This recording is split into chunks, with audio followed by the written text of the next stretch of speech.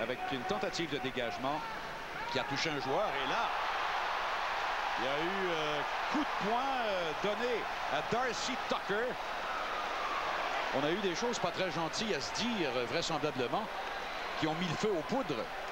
Darcy Tucker est toujours une cible. J'ai l'impression que Darcy en dit un peu lui aussi. Alors, on va faire une pause. On reverra tout ça au retour de celle-ci. Et voilà, hop, une petite poussée que Bob Basson n'a pas du tout apprécié.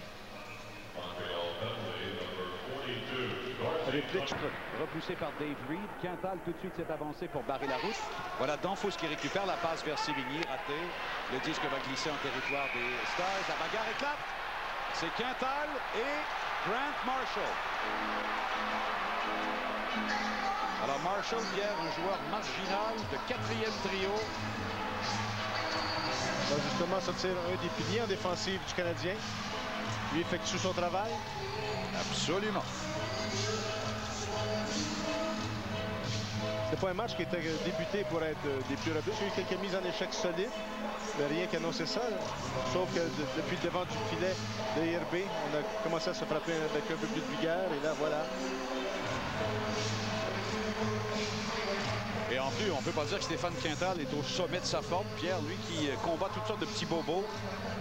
Et euh, bon, ben, finalement, les juges euh, laissent toujours le combat se poursuivre. Je pense que Quintal attendait justement que les juges de ligne euh, s'impliquent un peu. Ceux-ci ne s'étant pas impliqués, mais ça continue.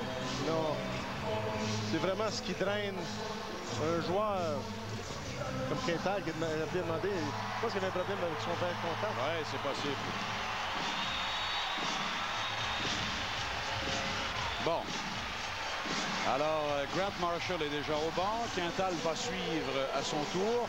Il s'agira de voir, Pierre, comment l'arbitre a interprété le début de cette altercation. Première portion de la période. Et voici dès le début.